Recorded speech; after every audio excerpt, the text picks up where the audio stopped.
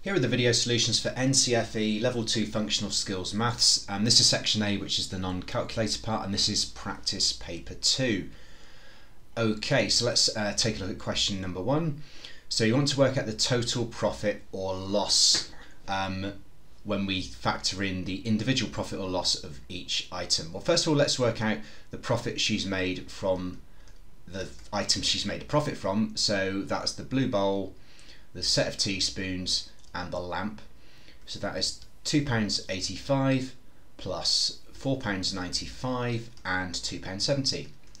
So the profit she's made from these three items, 5 plus 5, put a decimal point um, before we go any further, 5 plus 5 is 10, 0 carry 1, 9 plus 1 is 10, 18, 25 carry 2, uh, 4, 5, 6, 7, 8, 9, 10. So she's made a profit of £10.50, but she's made a loss on these two items, so the total loss she's made is 535 and 425. 5 plus 5 is 10, 0 carry 1, 3, 4, 5, 6, 5 plus 4 is 9. Okay, so in total she's, uh, well overall she's made a profit uh, because uh, £10.50 is greater than £9.60. What is the difference between these two amounts? Well, there's 40p to take me up to £10 plus another 50p to take me up to £10.50 so that is a 90 pence profit so £0 and 90p okay part B. Okay so this is quite a challenging one. So there's various ways you could do this but for me I see 17.5% as that is a 10% plus 5% plus 2.5% and the reason I find this quite handy is um, that 5% is half of 10% and 2.5% is half of 5%. So first of all, what is 10% of £155? Well, that is 155 divided by 10, which is £15.50. So therefore 5% is going to be £15.50 divided by 2. So we might need to use a bus stop here. 15 divided by 2 is 7 with a remainder of 1. 15 divided by 2 is 7 with a remainder of 1. 10 divided by 2 is 5. So 5% is £7.75. So therefore 2.5% that's going to be £7.75 divided by 2.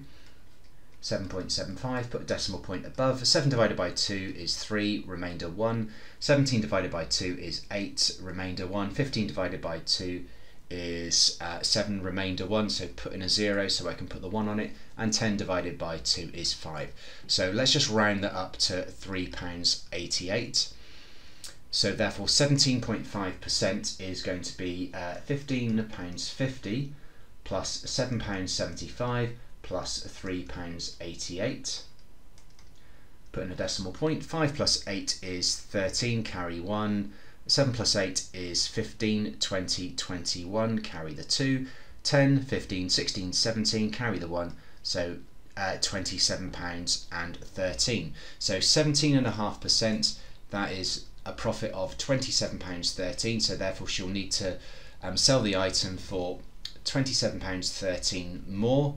Um, so sorry, I've forgotten what it was, 155. So that is 155 plus £27.13. So that is 13p uh, left over. Um, sorry, 13p um, plus 5 plus 7 is 12, 2 carry 1, 5 plus 2 is 7, plus 1 is 8, 1 plus nothing is 1. So £182 and 13 pence. Okay, so let's take a look at part C. So um, it says here the line drawn marks the prices where Hannah makes no profit or loss. So, for example, uh, this point here, she's paid £10, sold it for £10. So any dot above the line means it's been sold for a higher price than it was bought for. Let's take a look at this one. Well, actually, this one's nice and easy.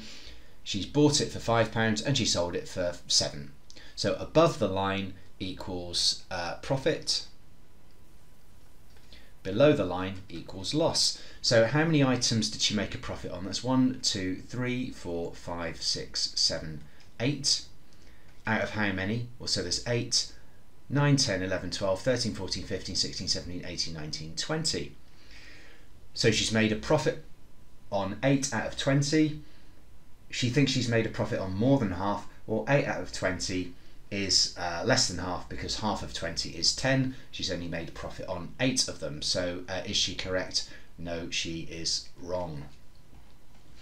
Okay, so part uh, D. So the first thing I'm going to do is to convert the 0.2 ounces into grams. So we know that one ounce is 28 grams, so 0.2 ounces is going to be 0.2 times by 28. Well, 2 times by 28 is 56, so 0.2 times 28 is 5.6 grams. Uh, maybe you need to do um, a column method for that. So the total weight of the, um, the gold is 5 5.6 plus 3.9. 6 plus 9 is 15, carry the 1, so that is 9.5 grams of um, gold. And we know it's 18 pounds per gram, so our final uh, our next calculation, uh, I'm not sure if it's the final one or not, is going to be 9.5 multiplied by um, 18 pounds. So I'm just going to do 18 times by 95 first of all. Uh, 8 times 5 is 40, 0 carry the 4, 8 times 9 is 72, plus 4 is 76. And this is the one of 10, so putting a 0, 1 times 5 is 5 and 1 times 9 is 9. Add these together, I get 11, uh, so that is 1710. So 9.95 times by 18 is 1710, so therefore 9.5 times by 18 is going to be this number here with one decimal place, so 171.0, in other words, 171 pounds. Okay, so um, we will she make a profit? Well, she's bought them for uh, these prices here, so 75.25 plus 65 pounds 50 25 plus 50, that's a 75. 5 plus 5 is 10, carry 1. 7 plus 6 plus 1 is 14. So she, uh, so she buys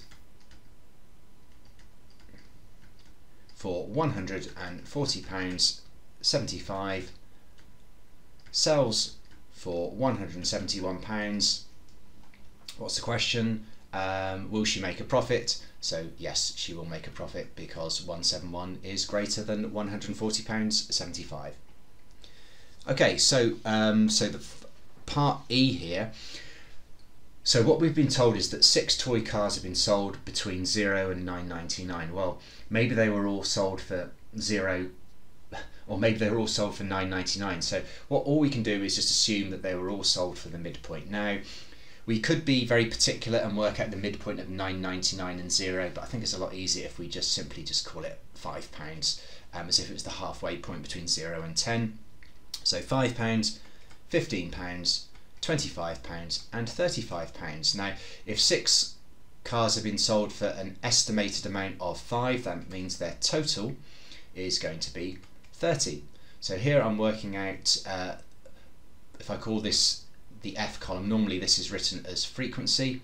So this is frequency times the midpoint. So whenever you, you've got an estimated mean, you're going to need to work out the midpoint and a frequency times midpoint, so two separate columns. And we're multiplying across here. 5 times 15 is 75, 6 times 25 is 150, and 3 35s are 105.